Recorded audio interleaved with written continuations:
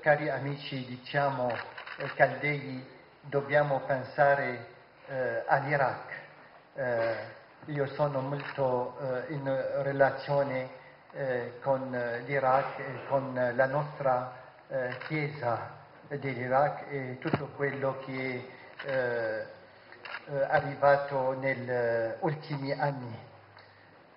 Eh, nel stesso tempo io sono vescovo dei Caldei in, in Siria, ho, ho, ricevuto migliaia di profughi eh, arrivando eh, dall'Iraq eh, per, per, aiutare, per organizzare eh, la vita.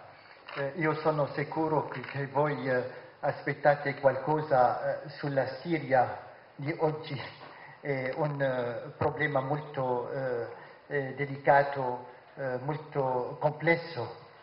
Eh, eh dobbiamo dire che, eh, da 50 anni siamo un, eh, in un regime un po' militare, l'ideologia del socialismo dell'Unione Sovietica. E, e tutto questo cambia oggi.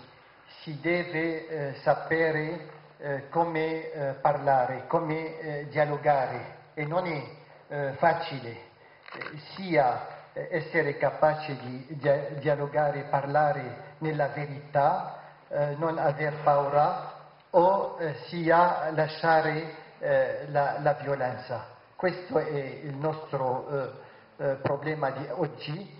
Spero che la Siria sarà capace di fare riforme, di saper come eh, parlare eh, nella, nella, verità, i cristiani hanno un ruolo positivo, sì eh, la violenza deve eh, dominare, c'è un rischio eh, per me, per tutti i patriarchi vescovi di Siria, di diventare come l'Iraq.